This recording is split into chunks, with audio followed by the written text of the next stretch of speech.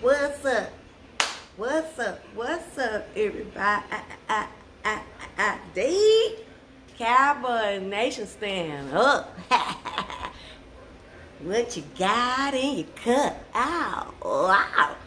You see that smoke? I ain't about to taste this no time soon. Hey, y'all.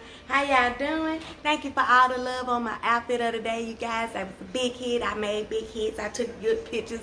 I flexed and I was cute. So thank you uh, for the thumbs up. Uh, what else?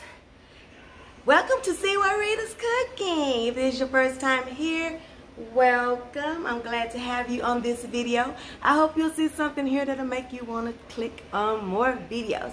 Remember when you click on these videos you guys when you view them please give me a thumbs up for my efforts. If you like it give me a thumbs up.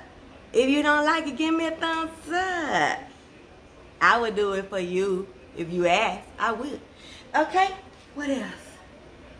Make sure that you're going and searching different things in the search engine uh, to find out if I've made something before because like I said, I almost have 200 videos on YouTube. So see what Rita's cooking and then put what you're looking for.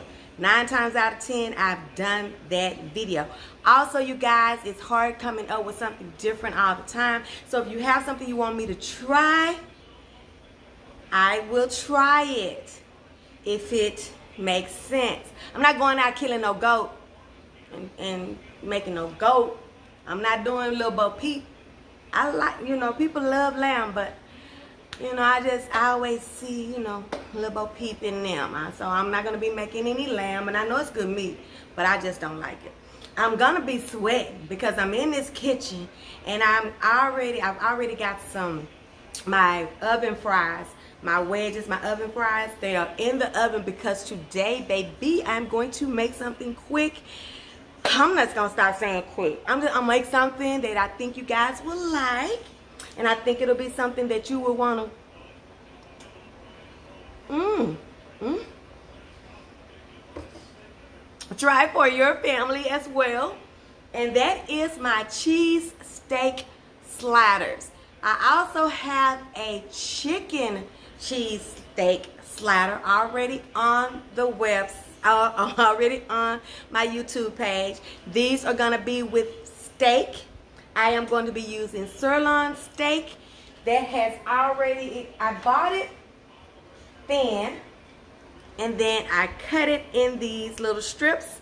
So I'm gonna be using actual um, actual steak uh, with these cheese steak sliders and um, that's it. I'm going to be putting with my wedges. But the video is about the cheese steak sliders. So let's get into it. Let's go. Let me move you where I want you. Hold on. I meant to pause y'all, not stop y'all. But anyway, I'm going to put y'all right over here so you can see, right? Go there just a little bit. Now, this is not nothing exciting. Like I said, I have me some... Sorry, y'all, for all this movement. What's going on? I'm trying to go down just a little bit, okay? And um, like I said, this is just some some sirloin steak. It's thin. I don't know if y'all seen. Let me show y'all the package. I got it from Walmart.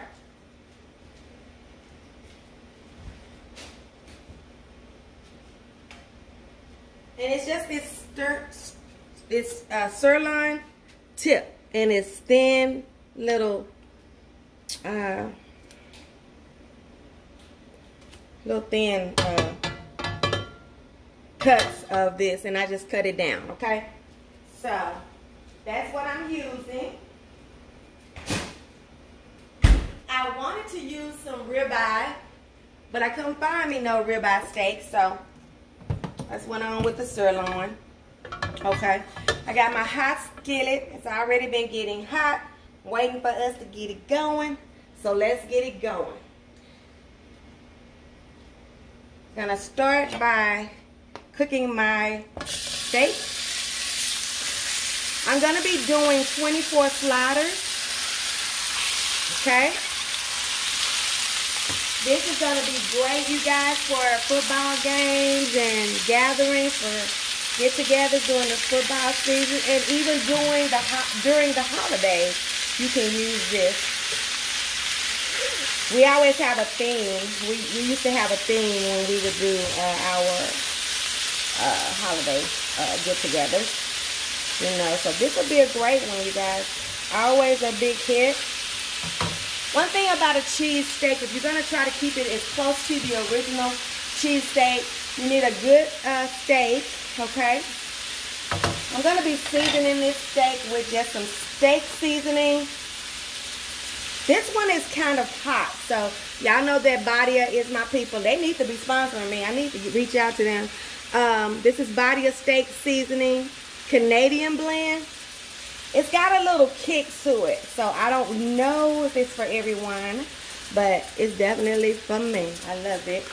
And um, the only other seasoning I'm going to be using is my Badia seasoning, okay? Just like a, you know, just like a, what do you call it? Just, uh, what you call it?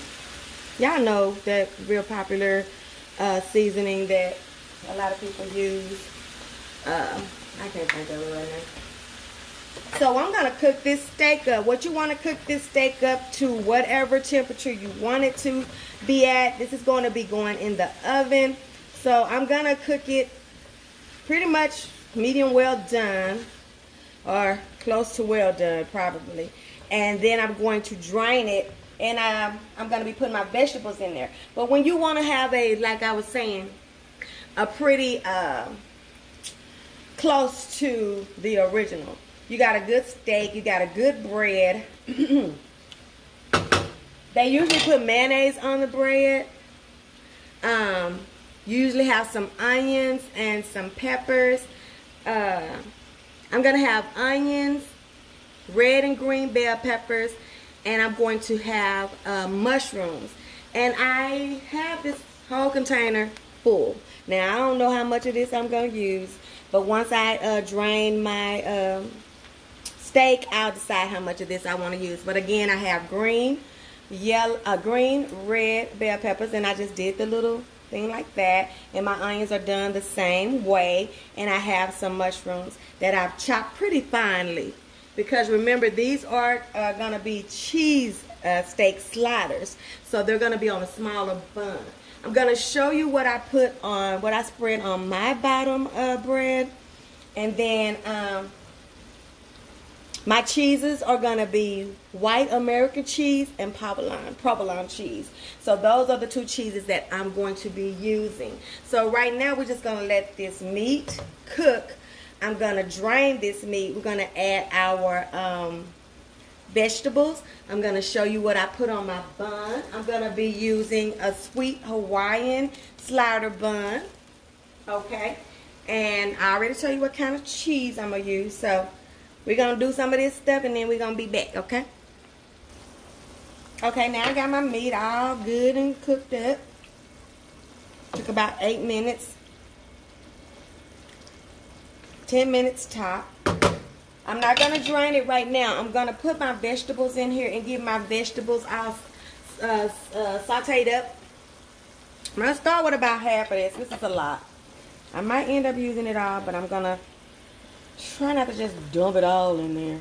If it all falls down, it just all falls down. Girl. I did okay. Okay? So now we're going to stir this in there. Let it get all, you know, acquainted. Y'all know I like a little, little bone chicka bone bone. Hey, mixing, matching. We all are one. Okay? So that's what I'm going to do. I'm going to cook this down and get this in here to the consistency that I like. I just like my, I like, uh, I like to get my peppers and stuff pretty much cooked down the way I like them because once they go in the oven, you're not to really get to, them. girl, you use a whole thing, sis. You're uh, not to have an opportunity for, um, you know, really too much cooking to go on. What's really happening when you put your, um, your uh, sliders in the oven is you're just melting your cheese. That's really what's happening. So you need to get your filling like you like it. Now some people put a Cheez Whiz uh, filling into their uh, meat and onions and stuff. I'm not going to be doing that. I'm just going to, like I said, I'm going to use my American. And I got slices, you guys. I didn't uh, do any shredding. So I'm going to cook this, cook this down the way I like it. And I may, I might not drain it. I'm going to see. And I'll let you know what I decide to do. But I just want this to cook down. I want to get these peppers a little bit more cooked down. Get those onions cooked down. Get them all those flavors in here mixed together. And then I will see you right back. Don't they look good? Oh, y'all getting a good view? I'm sorry, you guys. So that now y'all can see that I'm a little stuff in here. All right, I'll make sure y'all got a good, a good view next time, okay? Hold on just a second. So while I'm letting that uh, meat uh, and onion mixture get reacquainted and get all mixed up, I'm going to show you guys what I do to my bread bottoms. Now this is mayonnaise mixed with some uh, cream cheese. The cream cheese is my onion and uh, chive and onion cream cheese. Remember I had used this when I did my, um, what do you call those? My egg rolls. Um, and I had a whole container left. So um, I said, well, I'm going to use some of that. I got about half of that container, and that's an 8 ounce, I think. Let me make sure. I think it is, y'all. You know I can't find them when I want to. Yeah, I think this is an 8 ounce. And I took about 4 ounces of it, and then I mixed about the same thing of mayonnaise in here together, you guys. And I'm going to just spread this on my buns bottoms, okay? Just, just like this. This ain't nothing exciting. I just wanted you to know what I put on the bottom of my bread so you don't have to watch me do this. But again, this is mayonnaise and cream cheese, the onion and chive kind. You don't have to put anything on your bread. This is just something that I do just for that extra creaminess um, and an extra burst of flavor. Okay? Okay, y'all, so we have our meat done. You can see it up here. And we have our buns, you know, prepared. You don't have to put anything on the bottom, you guys, so don't feel the pressure of that. Uh, but a good, some mayonnaise on there won't hurt it. But it won't hurt, it won't taste any, you know, it's to be good if you don't put nothing on the bread. That's what I'm trying to say. So we're just to put our uh, meat down on here, you guys. Right? Y'all see that? Okay. Put our meat down on here, our little mixture. I didn't um, do a whole lot of draining, but I did drain it, you guys. This is about I used two packages of that steak, and each one of those packages had like three thin um, uh, cut of steak in there. And then I probably halved those and then made these strips, okay? So, two packages of steak. You can also use Steak-umm, you guys, as long as you um, uh, season that thing up and put you some onions and stuff in there. Steak-umm will be just as good as uh, doing it this way, okay? So don't feel the stress to have to buy some steak, uh, you know, or, or, get some steak from your butcher or, or you know, high cut steak and all of that. Don't worry about that. This will be just as good if you just use you some regular old Steak-umm. You can find Steak-umm in the um, freezer department uh, of your store, uh, grocery stores, and um, Walmart uh, have have the Steak-umm brand. I think you guys know what I'm talking about. I'm gonna show you good. You can do that with fajitas as well. Uh, the Steak-umm brand. So don't feel the stress of doing this. I just wanted uh, it is at uh, close to cheesesteak you know, that I'm used to getting at the restaurant as I could get it. So that's why come I went with uh, some steak, okay? Now, I don't know if y'all know I have that little uh, thing about my tops of my, my tops of my buns, slider buns have to match my bottoms. I have an illness, you guys. I have an illness. You know what? I don't even have my um, uh, cheese out. So let me finish putting all the, the meat on here and then I'm going to get my cheese out. Okay, you guys, so let me show you what I do. Once I have my meat down and I've got it all spread out like I want it and everybody's looking like they got some good onions on them and good peppers. Um, what I do now is I go in and I uh, put my cheese on. Now I told you guys I was going to be using some American and some uh, provolone cheese, white American and provolone cheese. And this is what I do. Um, I take a piece of the round provolone. It's like this in the package, right? I take a half of it and a half of my white American, you guys. And I go through the motions of just putting these on there like this. This is just me, you guys. You can use one cheese and be happy and it will be totally fine. But y'all know it ain't readitized if let me put that to the end a little bit to the edge a little bit. It's not readitized if I have to do everything that somebody else would do. Uh, it's only readitized if I show you how I do mine. Now, of course, you don't have to readitize yours because this takes a little a little time. You got to tear up your cheese and have it. I normally uh, tear me up some and just have me some, you know, just broke up like this. And so all I have to do is just go in and do whatever I need to do, okay? And I'll come back and do like this. And this is a lot, it's a lot faster that way if you go ahead on and prep your cheese and get it ready to go on top, okay? So that's normally what I do. I have my hands with my cheese in it already, and I do like that. So I'm going to do the rest of this, and then I'm going to show you guys what I dust on the top of my buns to just take it over the top just a little bit more. Hold on just a second. Okay, you guys, so I'm done with my cheese. So I just want to show you how my cheese looked on the top, okay? And when I tell you guys that I'm kind of crazy about matching up my buns to my tops, this is what I mean. I set my buns to the to the side, the tops, to match the bottoms. Because the bottoms, they're going to get all cheesy and stuff like that, and that's fine. I want that. But this kind of gauges and keeps you knowing where your sandwich is, okay? So what I do is I line that same top with that bottom. I look for that edge or whatever, and that kind of helps us get it out, okay? So I hope that makes sense. And then I'm going to show you guys how I make a little butter sauce to go on the top of this, okay? So see, when we get them out, they'll be easy to come out. I just like to do this like this.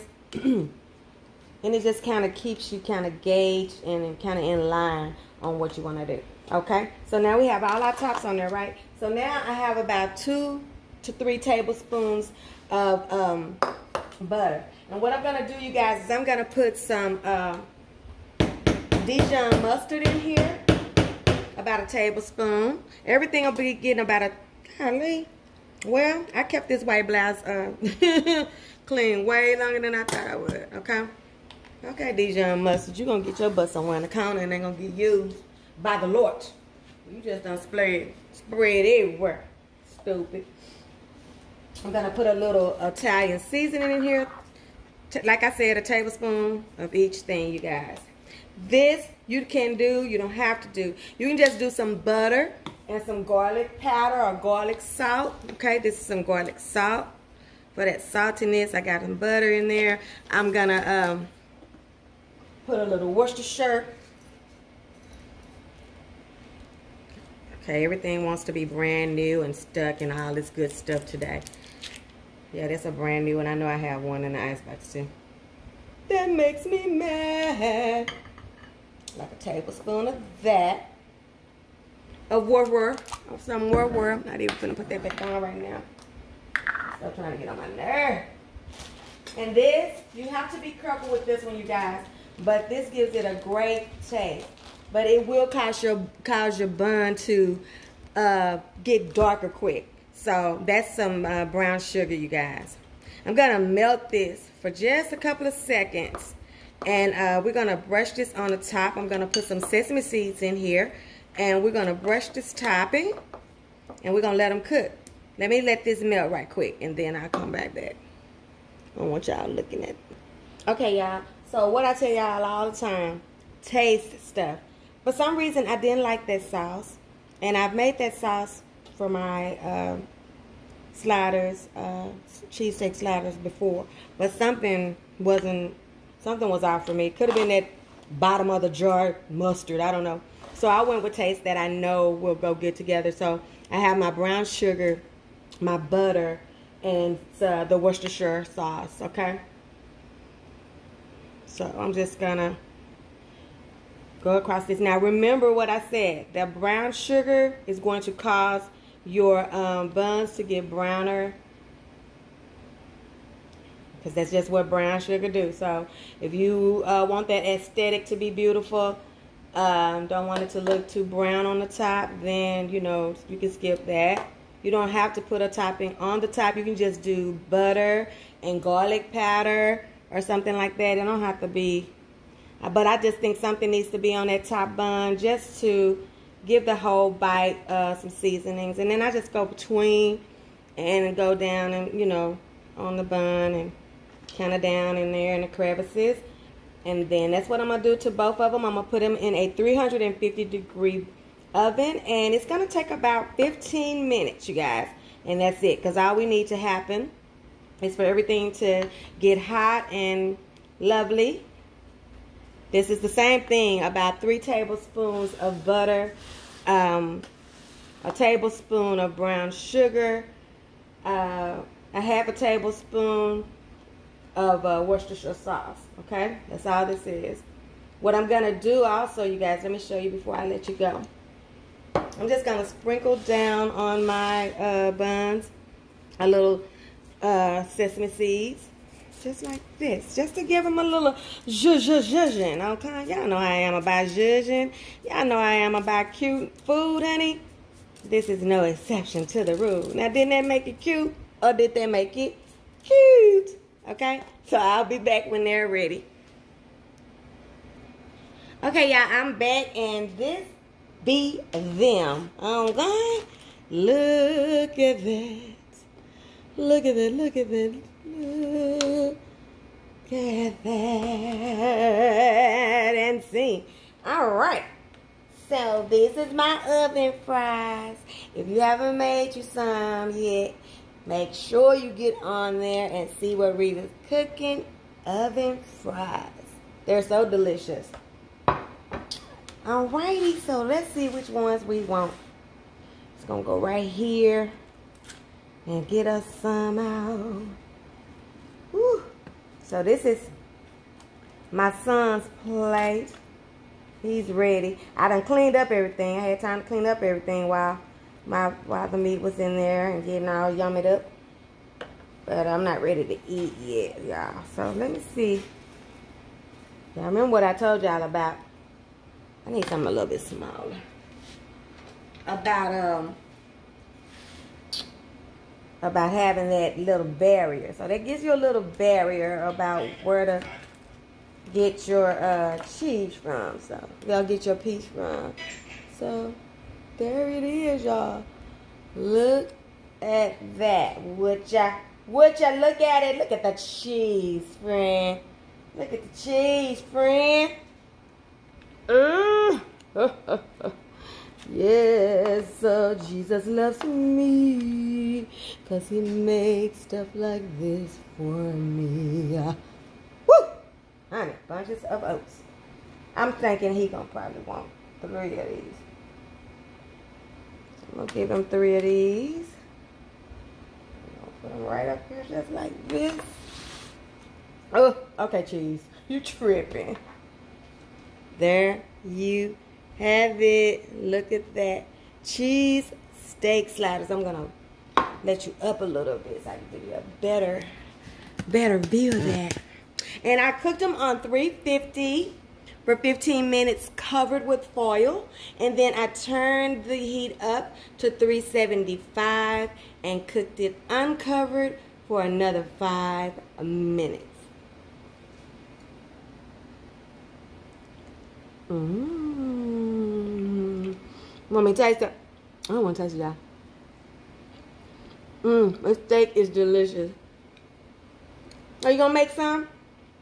I hope you're going to make some. This is perfect for game day, you guys. This is my cheesesteak sliders.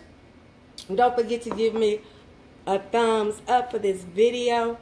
Any videos you've watched and you've forgotten to give me a thumbs up, please go. Just thumbs up. Just go in there. You ain't got to listen to me talk. Just thumbs up all my videos. And I really appreciate it. Make sure you like, comment, share, and don't forget to subscribe, honey, because why? Your food ain't all the way live until it's been redesized. See you guys on the next one. I love you guys. Bye.